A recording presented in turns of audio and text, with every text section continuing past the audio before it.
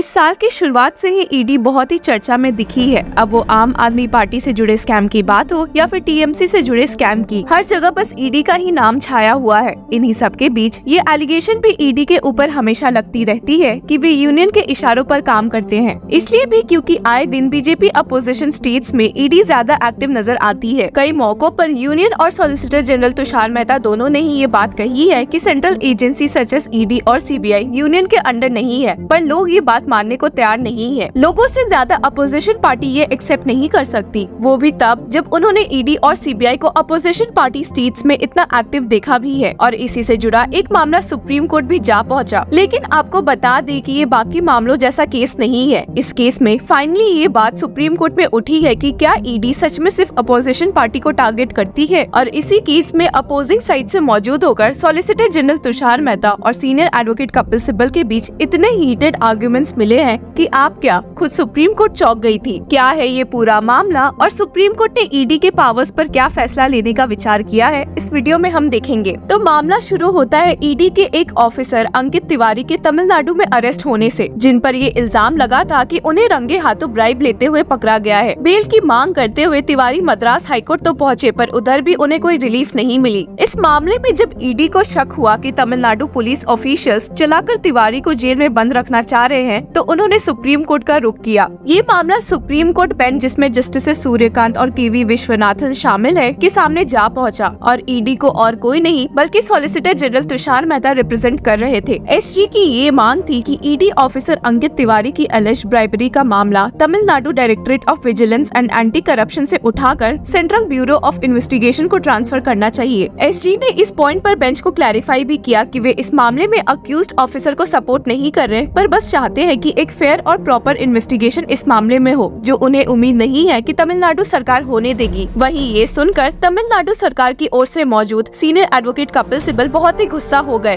और इधर से जो झगड़ों का सिलसिला शुरू हुआ है, वो सुप्रीम कोर्ट बेंच के ऑर्डर देने के बाद भी खत्म नहीं हुआ है। जी हाँ आपने सही सुना। सिब्बल ने अपने आर्ग्यूमेंट रखते हुए कहा कि ईडी द्वारा ऐसे एक स्टेट गवर्नमेंट के इन्वेस्टिगेशन को चैलेंज करना बहुत ही खतरनाक है। इसलिए भी, क्योंकि ईडी जो एक सेंट्रल एजेंसी है और एक स्टेट एजेंसी पे उंगली उठाएगी तो उससे इंडिया के फेडरल स्ट्रक्चर पर बहुत ही खराब असर पड़ेगा। Sibal stated I have preliminary objection this is not political the federal structure is affected हालाँकि सीनियर एडवोकेट कपिल सिब्बल की ये कहने की देरी ही थी कि बस एस जी तुषार मेहता ने उन पे उल्टा वार करते हुए कहा। It is now political with his Sibal statement we were not on a larger federal structure हालाँकि एस जी मेहता यहाँ रुके ही नहीं। उन्होंने आगे जाकर तमिलनाडु स्टेट को खूब फटकारा ये कहते हुए कि उन्होंने ईडी ऑफिसर के अगेंस्ट केस इसलिए भी किया है क्योंकि ईडी तमिलनाडु के कई मिनिस्टर्स पर मनी लॉन्ड्रिंग और माइनिंग केसेस के तहत जाँच कर रही है। एस जी मेहता का ये सबमिशन सुनकर सिबल शांत नहीं बैठे और उल्टा ईडी पर उंगली उठा दी कि उनके सारे केसेस और इन्वेस्टिगेशन ही फ्लॉड है। दोनों काउंसिल के बीच इतनी बढ़ती लड़ाई पर सुप्रीम कोर्ट बेंच ने कहा कि इन सबसे एक ही बात समझ आती है कि एक बड़े इशू को डिस्कस करने की काफ़ी ज़रूरत है। सुप्रीम कोर्ट बेंच ने शो किया कि शायद उन्हें जल्दी guidelines frame supreme court bench ने शो किया कि शायद उन्हें जल्दी गाइडलाइंस फ्रेम करने पड़ेंगे, ये मेक श्योर करने के लिए कि ईडी और स्टेट ऑफिशियल्स के इन्वेस्टिगेशन का मामला एक फेयर और ट्रांसपेरेंट तरीके से हो जस्टिस विश्वनाथन ने तर्क दिया। The larger issue of best practice considering the federal nature of the country we will evolve a mechanism you should sit together and give suggestions senior advocate Kapil Sibal ने justice Viswanathan की बात ऐसी agree तो किया ही, पर उन्होंने फिर से ईडी पर हमला बोल दिया ये कहते हुए कि वे इंडिया के फेडरल स्ट्रक्चर को बर्बाद करना चाहते हैं। आपको बता दें कि इस केस की हियरिंग के दौरान जस्टिस सूर्यकांत ने मद्रास हाईकोर्ट के उस ऑर्डर को भी रेफर किया है, जिसमें उन्होंने ईडी ऑफिसर अंकित तिवारी के केस में सीबीआई की जाँच से सख्त मना कर दिया था, जिसकी वजह से सुप्रीम कोर्ट के मन में भी शंका बैठी हुई है। Justice Surya Kant stated the way the P I L was filed the way the high court entertained it and pass the order we don't want to comment on it now but there is something which can be said about both sides better you come up with solutions otherwise we will find out the matter needs to be proved in a transparent manner हालाँकि आपको बता दें कि solicitor general और CIBIL के बीच की लड़ाई अभी तक थमी नहीं थी। सिबिल ने ईडी को टारगेट करते हुए फिर से कहा कि वे सिर्फ़ कुछ स्टेट्स में ही इतने एक्टिव क्यों नज़र आते हैं। इधर सिबिल ये कहना चाह रहे थे कि ईडी सिर्फ़ बीजेपी अपोजिशन स्टेट को ही टारगेट करती है। और जैसा कि आपको मालूम है, तमिलनाडु में डीएमके पार्टी मौजूद है, जिससे आए दिन बीजेपी का झगड़ा होते रहता है। इस मामले में पलटवार करते हुए सॉलिसिटर जनरल ने कहा की सिबिल वापस ऐसी मैटर को पॉलिटिकल कर रहे हैं। और वही तमिलनाडु स्टेट पे हमला बोलते हुए सॉलिसिटर जनरल ने ये भी कहा की स्टेट एजेंसी ने तिवारी के खिलाफ इन्वेस्टिगेशन के नाम पर ईडी ऑफ़िस को रेड करके इरेलीवेंट केस फाइल्स उठाए हैं, जो कि उन केसेस से जुड़ा था, जो ईडी तमिलनाडु के मिनिस्टर्स के खिलाफ चला रही है। इस पॉइंट पर जस्टिस विश्वनाथन ने वापस से कहा कि एक अच्छे मेथड की सख्त ज़रूरत दिखाई दे रही है and stated there has to be mechanism where when a central agency particularly when the ruling party is different between the centre and the state something has to be evolve so that while genuine cases don't go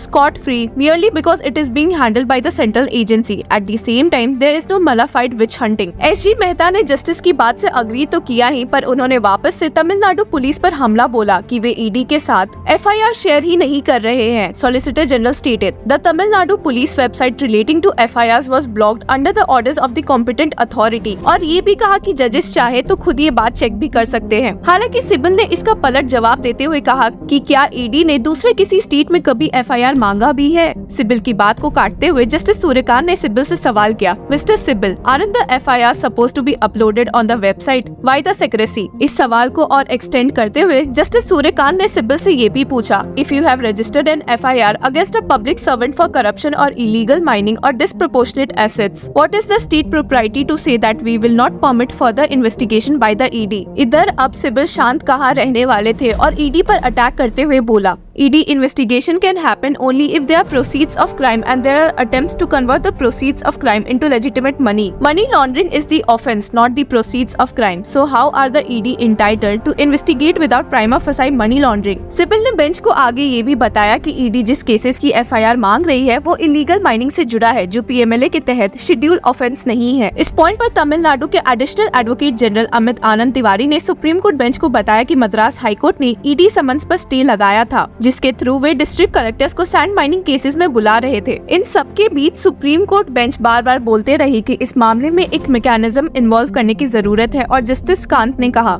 we are not observing in the order please try to explore and tell us mechanism which should be fair and transparent it should apply to all states we will start with this state justice Viswanathan ने यहाँ add करते हुए कहा कि दोनों council भी चाहे तो सजेशंस दे सकते हैं। इस पॉइंट पर एसजी ने बेंच को कहा if there is a vindictive arrest there is a court to look after जिसका जवाब देते हुए जस्टिस विश्वनाथन ने कहा we are not seeing your vindictive और they are vindictive but suppose in a given scenario there is a tit for tat reaction if there is a vindictive action from their side as a tit for tat to what they perceive as a vindictive action what will happen to the country यहाँ पर SG ने उस मौके की बात कही जब Bengal police officers ने सीबीआई के ऑफिसर्स को अरेस्ट कर लिया था और बंगाल की सीएम आराम से सीबीआई ऑफ़िस में घुस गई थी। इसी पॉइंट पर ज़ोर देते हुए जस्टिस विश्वनाथन ने कहा that is why there has to be some kind of mechanism we should screen before action is set out हालाँकि एसजी ने यहाँ कहा कि ऐसे मामलों से डील करने के लिए स्टैचुटरी प्रोविजंस हैं। इस पर भी सिबिल ने तुरंत जवाब देते हुए कहा कि ये स्टैचुटरी प्रोविजंस ईडी को ही पावरफुल बनाती है। एसजी ने फिर सिबिल को याद दिलाया कि ये प्रोविज़न सुप्रीम कोर्ट द्वारा अपहेल्ड किए गए हैं। इस केस में सुप्रीम कोर्ट ने तमिलनाडु सरकार को एक नोटिस इशू करते हुए दो हफ्तों का टाइम दिया है रिप्लाई फ़ाइल करने के लिए। The supreme court has also directed the Tamil Nadu directorate of vigilance and anti